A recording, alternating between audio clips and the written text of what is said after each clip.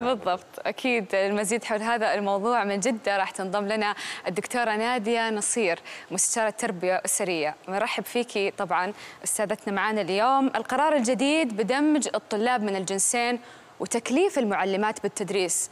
يعني هالقرار بيتضمن تغيير جذري فبرأيك ما هي الصعوبات والتحديات لتنفيذه خاصة من الناحية اللي هي تتعلق بالتهيئة النفسية للأطفال؟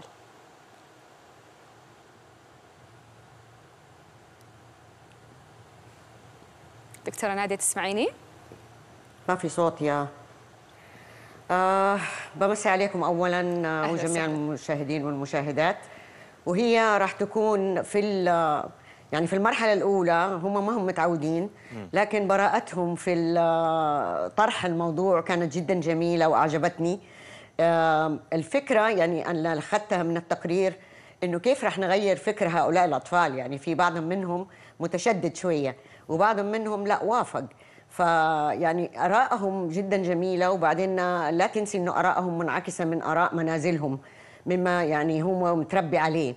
إذا هو مع أخته في المنزل وفي فصل في التربية أنت الرجال دي أختك لازم أنت تكون إنه توجهها تكون أفضل منها وهكذا. واحيانا يقارنوا ما بينهم. إذا البنت جابت درجات طيبة في الدراسة يقول له شوف أختك صارت أشطر منك ليش انت ما تجيب آه، زيها وهي بنية؟ يعني في إنه هو هو إنه في قصور شوية في التربية والعوائل مختلفة طبعا في التربية.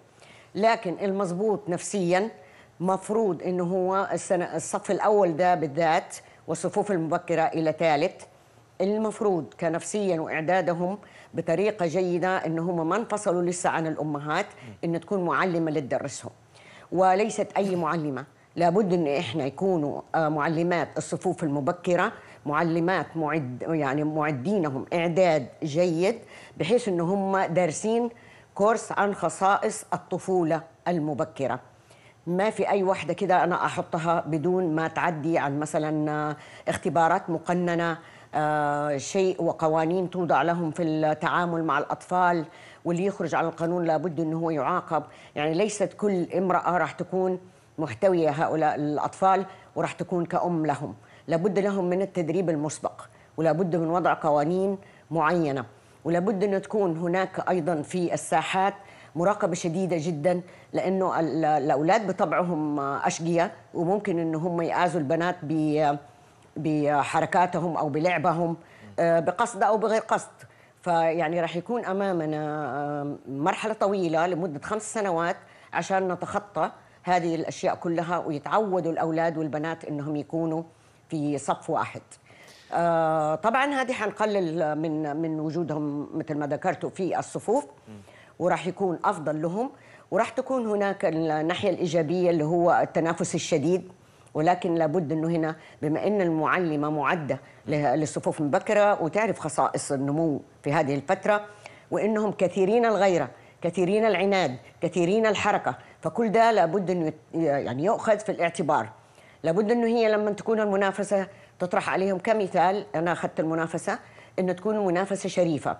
إذا فلان أفضل من فلانة أو فلانة أفضل من فلان نحن ما في زعل ما بيننا ولكن إحنا نحيي الأفضل ونحاول إن إحنا نكون آه نحسن من نفسنا حتى نصل للمستوى الأفضل.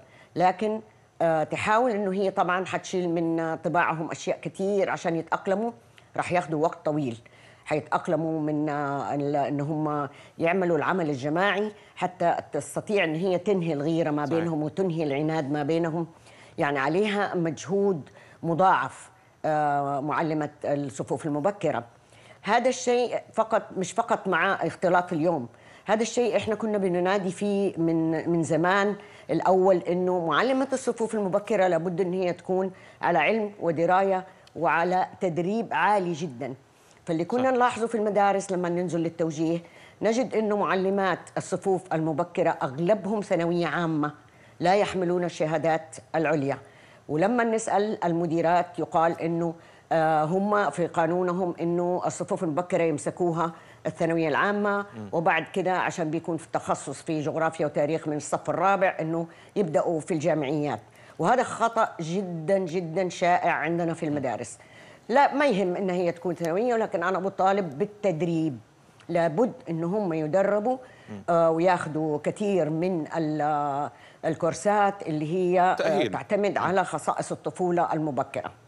جيد طيب دكتورة أيوة. الدكتورة إلى أي مرحلة دمج الطلاب من الجنسين قد يساعد على ربما تعود الطفل على الجنس الآخر والاندماج معه مستقبلا سواء كان والله في بيئة العمل في المجتمع أو غيره وما مدى صحة ذلك؟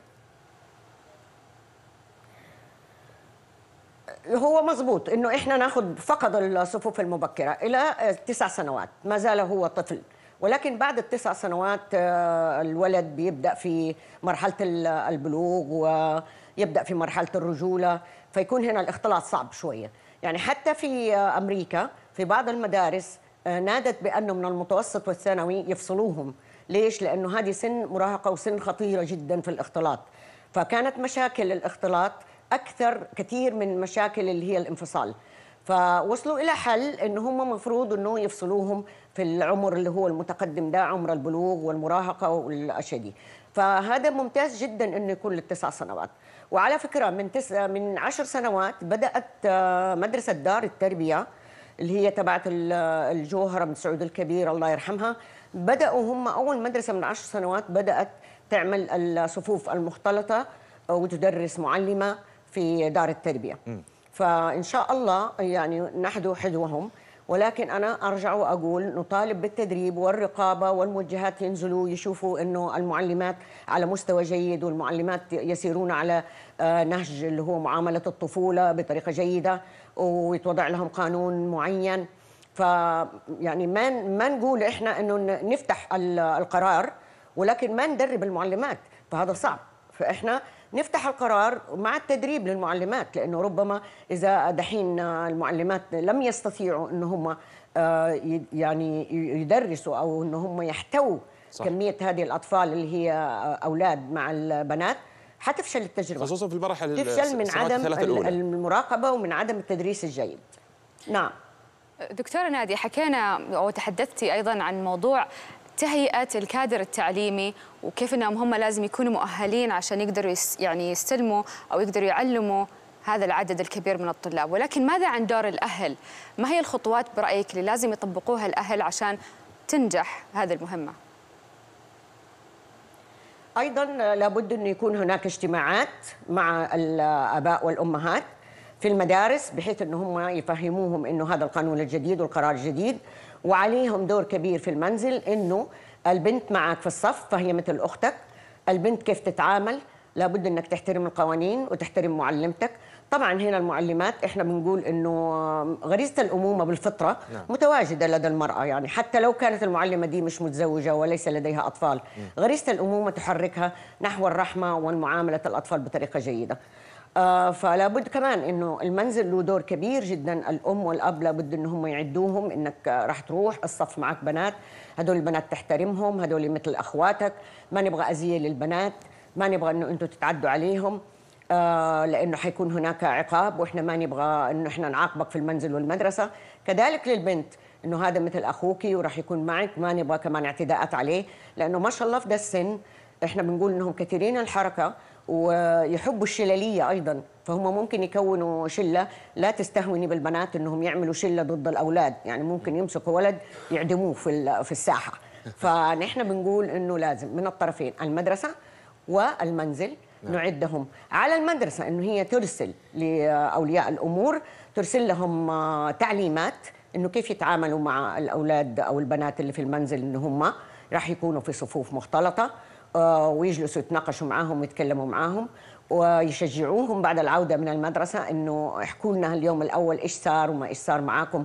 فهم يحكوا والآباء والأمهات يصلحوا الأخطاء يوجهوا بطريقة إيجابية والمدرسة أيضا توجه بطريقة إيجابية وراح يكون المراقبة تكون عالية جدا. نعم. كما ذكرت أنه لابد أن الموجهات للصفوف المبكرة عليهم الآن آه زي ما نقول الضعف في المجهود اللي يبذل. ان هم راح يكتبوا أشياء كثير راح يقوموا بعمل الأوراق اللي هي أوراق العمل اللي تروح مثلا للآباء والأمهات واللي راح تكون في المدرسة والقوانين اللي راح يصير عليها. ما هي العقوبات؟ إذا كان هناك طفل اعتدى على آخر يعني أشياء كثير راح تكتب وراح تكون لها تحت يعني مقننة. نعم. شيء ما نتعداه أو ما نتخطاه.